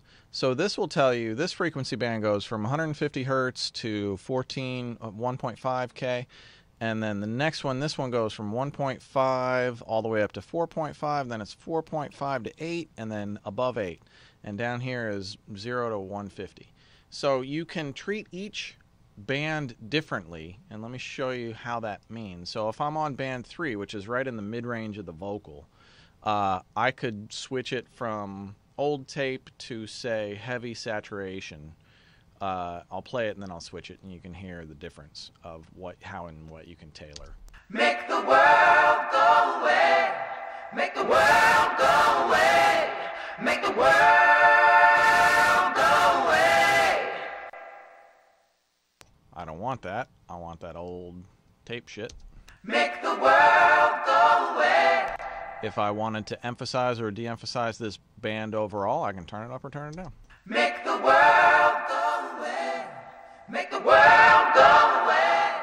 Make the world go away. Same with this kind of upper enunciation band. Make the world go away. Make the world go away. Now you see, I softened this band up, and you might ask, well, why, Ken? Why'd you soften that band up? Well, that's really where I want Bruce Sudano's vocals to really shine through. So um, I'm taking a little notch out of the background so that Bruce can really sit right in the mix where I want him, and so that she can envelop his vocal and really enhance it. And let me show you what that sounds like in the mix. Here's her muted, then I'll bring her in.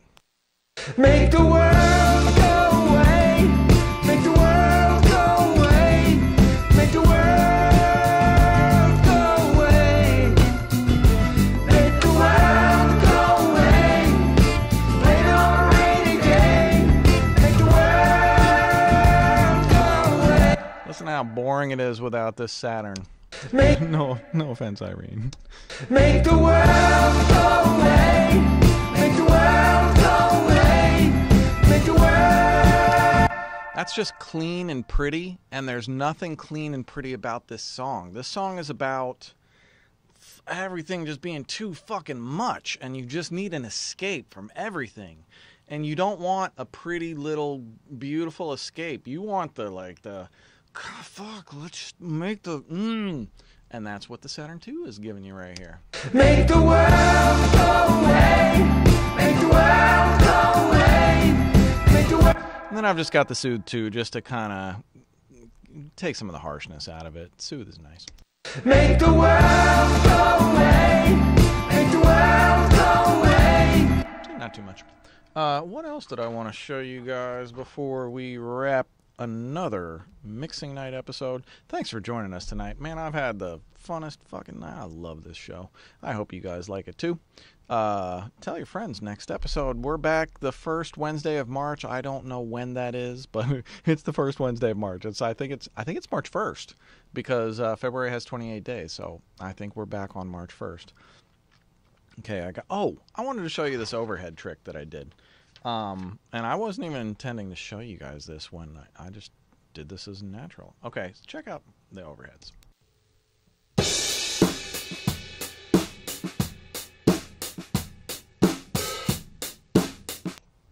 I am de-essing them.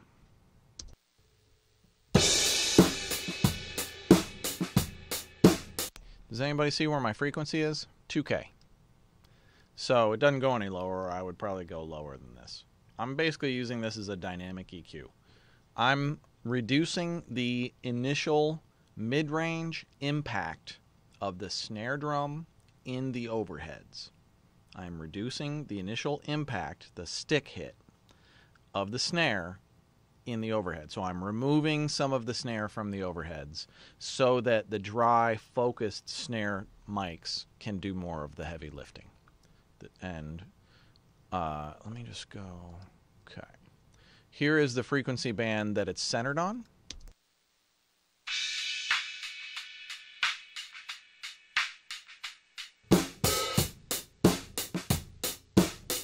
and you'll see I'll I'll bypass it. Don't listen to the body of it because it's not affecting most of the decay of the drum. It's affecting the stick of the drum. So listen to the difference in attack of the snare.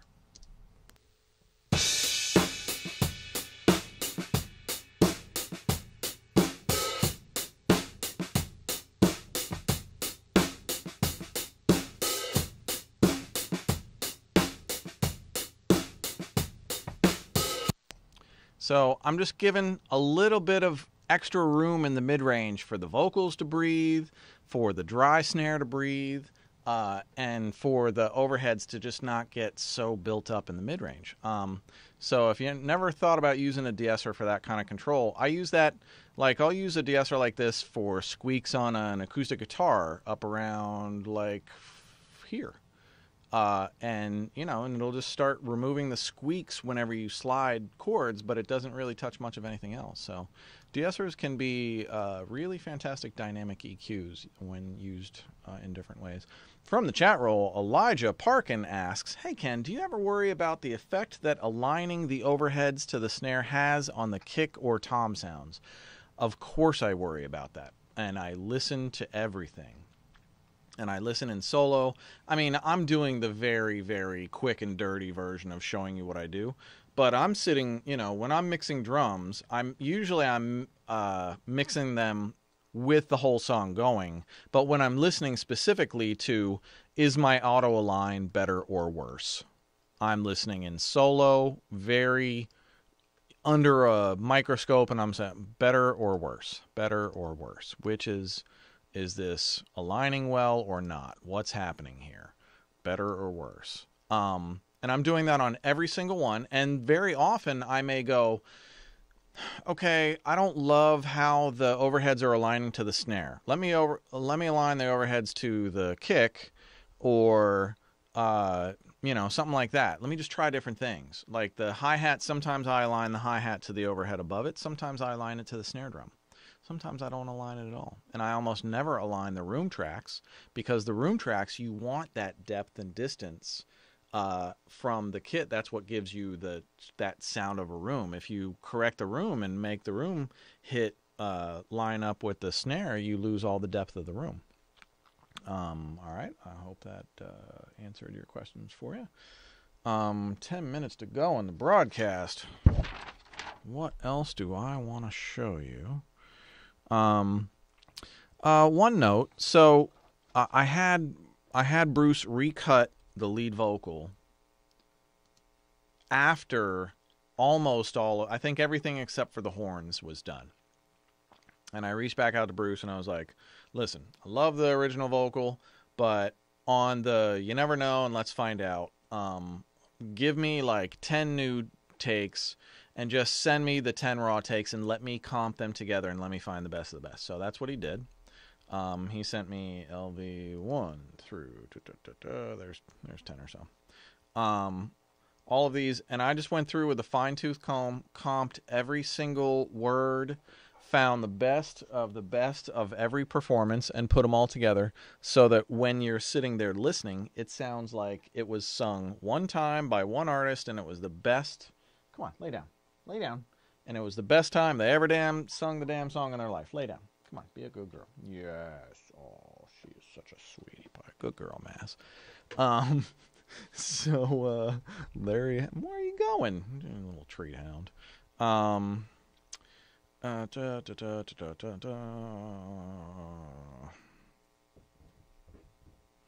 Hmm. Yeah, why don't you spill to that real quick? We have a little treat for anybody still paying attention right now. Uh, we, you know, it's funny thing. Friends uh, used uh, 10 out of 10 in a sync. I couldn't even believe it myself, but hear it. I just. I, Marcel? Where are you going with that disc? You are not putting that on again. Marcel, okay, if you press that button, you are in very, very big trouble. Whoever wanted, get it on sight, it's like fighting a toddler. Now you a target, I'm being honest. Stay on your side and they demolished. 10 out of 10. Run it back, we can do it. What's the bet?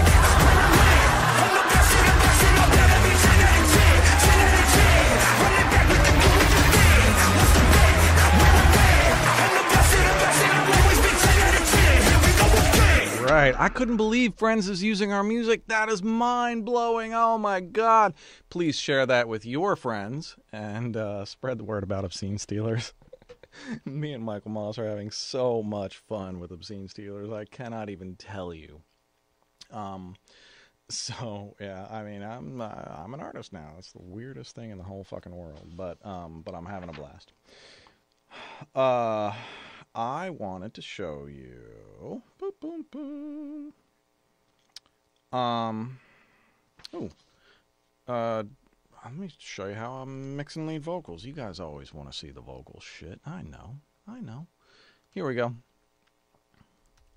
Okay. Why is this? Um. Here's my vocal chain.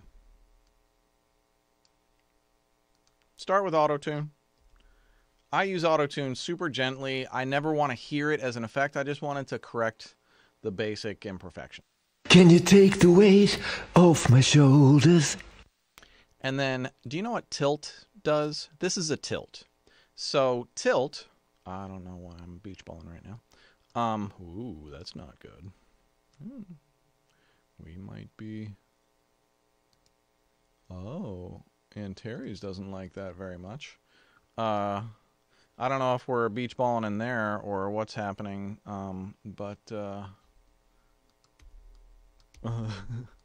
so, well, if you can still hear me, I'll, I'll just talk. So, T-bone is a tilt, and a tilt basically takes if this is your frequency range from low frequency to high frequency, and this is louder and this is quieter. If you tilt this way, you're turning up the high frequencies and you're turning down the low frequencies. And the low frequencies at the bottom subs are getting turned down the most, and the frequencies at the tippy top highest are getting turned up the most, just like that. And you want to turn down the highs and turn up the lows, you just do that. That is all a tilt does. And tilt is fantastic for, say, you hear a, a lead vocal and you ask yourself, I'm still beach balling here, but, and you ask yourself, um, huh, it's a little bit dark and it's a little bit bassy or muddy. Your first instinct is to dig in with an EQ, right? Wrong. I mean, it's not wrong, but, you know. But a tilt just evens out that frequency spectrum really, really effectively sometimes before you ever have to think about grabbing an EQ or anything like that. And, uh, uh, and then you can compress and your compressor doesn't have to work as hard. I usually go de-esser after the compressor. I think this time I did uh, auto tune, T-bone, Kramer PIE, uh, 100 millisecond release, 3 to 1 ratio, uh, UAD distressor. I usually 6 to 1 with a medium slow attack and a super fast release. Um, and I put the mid range de- detectors on. Uh, then RDeEsser from Waves. It's the only one I've ever used. Um, it's fine. It does great. I can. It's versatile. Uh, in fact, I've got two de-essers, so I'm probably going after like a mid-range um, on one of them, the way I do, uh, like just like I did with the snare drum. And then I'm probably going after the the harsh S's and T's and stuff like that on the on the top of it. Um, so it's looking like my Pro Tools is donezo. I have no idea what I did to piss this thing off, but I'm thinking Antares somehow is not uh, reading what it's supposed to read. Um, no, I can even move that. I don't. Can I play? No, I can't play. I won't play anything. Um, so I think, uh, unless you guys got any questions on the chat roll, let me just go through these and see if there's any last questions that I can tackle before I wish you all adieu. Uh, Albert asks, "Hey Ken, how how did you get started in mixing audio?" Man, four track recorder when I was 16 years old. Demo after demo after demo in my basement on four track cassettes. Not this DAW. Anybody with a DAW nowadays, if you're complaining about your gear, fuck off. I mean, your tools nowadays are a hundred times better than anything we dreamed about having when I was your age, when I was younger. And uh, learn your tools, make inspired stuff from them. Uh, you don't have to have all the tools. You have to have you have to make what you have sound great. And if you don't have great song uh, sounds, then go to Splice or you know buy a couple VSTs. They're cheap nowadays, um, and you know do your thing. Let's see. Do I have any last? Um.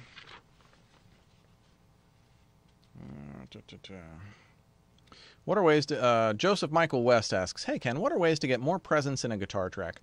Uh, tilt can help. Um, I usually grab a Pultec, uh, like a EQP 1A, and I'll open up uh, 5K or 8K. Seems to be the the heavy guitar bands that really make it jump out and come to life in a mix. Um, 5K or 8K on the uh, uh, Pultec EQP 1A. That's a great place to start um, for presence on heavy guitars. Uh, or any guitar really, but especially like big rock guitars. Um, Olusola asks. Olusola asks, "Hey Ken, how do I achieve a tight mix? Uh, really short or no reverbs? Um, same with delays. You don't want a lot of spilly effects and stuff if you want a really tight, focused mix. Um, uh, even to the effect that you might want to gate some of your drums or something like that to shorten them, uh, that you know that depends on feel. You just got to make sure it feels the way you want it to feel. But if you're going for like a real tight, um, punchy mix, you want to make sure your drums are punchy and not spread out. Uh, um, uh, yeah, that probably gives you some good ideas. Uh, Hans Tegan uh, says, uh, "Hey Ken, I just want to say what an oh thank you. Uh, hey Ken, I just want to say what an incredible resource you are and how great it is of you to share a mixing night like this. Hans, thank you very much. Um, you guys are the reason I do it. Uh, you know, um, we keep coming back because you keep coming back, and uh, we absolutely love the show, and we have a absolute blast doing it. So, keep joining us for mixing night, and we will keep putting on the absolute best show that we can. I didn't get to eight or nine pro tips tonight. I'm going to spill them into the next show. I'm really sorry to all of the high level pros that I insisted get them to me. what do you do? And uh, I, they will be used. And uh, everybody, thank you for tuning in to Mixing Night. Uh, congrats to our Beat Challenge winners. We are back March 1st, Wednesday, March 1st. Uh, we are back 8 to 10 p.m. Eastern. Uh, please join me then. All right, y'all have a good night.